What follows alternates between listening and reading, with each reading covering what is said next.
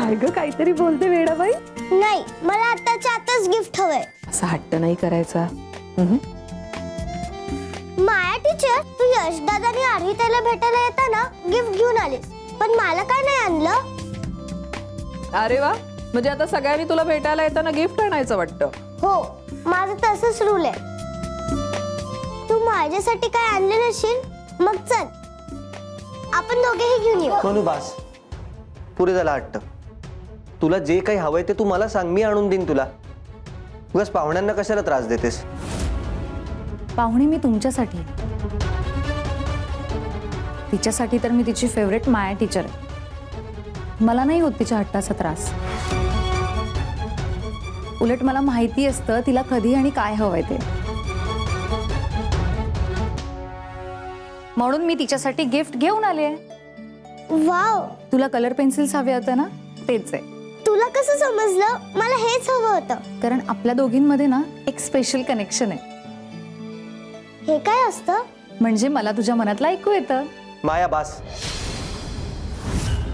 उगाच तिला काहीही सांगू नका तिच्या मनात वाटेल त्या गोष्टी भरवताय तुम्ही. अरे काय चाललंय काय? मला डे केअरमध्ये आल्यासारखं वाटतंय. ते उत्सव मूर्ती राहिले बाजूला सगळे माया टीचर भोवतीच गोळा झाले. काय माया टीचर आता आमचा क्लास नाही ना घेणार तुम्ही?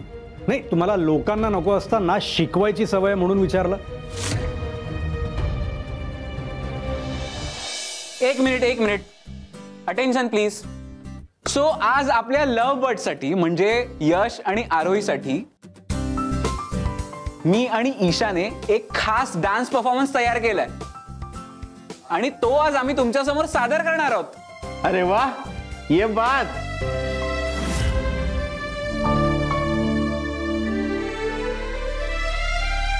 अरे हे कधी झालं?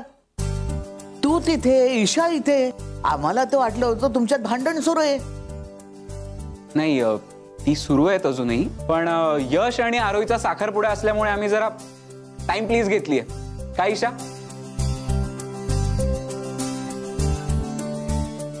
आजच्या दिवसापुरती. कोणाचं काय आणि कोणाचं काय? अगं मग चांगलंय की. भांडता असावं पण नांदता असावं. चला चला अरे मग वेळ का घालवताय? दाखवा ना आम्हाला तुमचा शो. थांबा. आप्पासाहेब मी येतो. बरं बरं. यांची तयारी होईपर्यंत मी तुम्हाला सोडायला येतो. चला.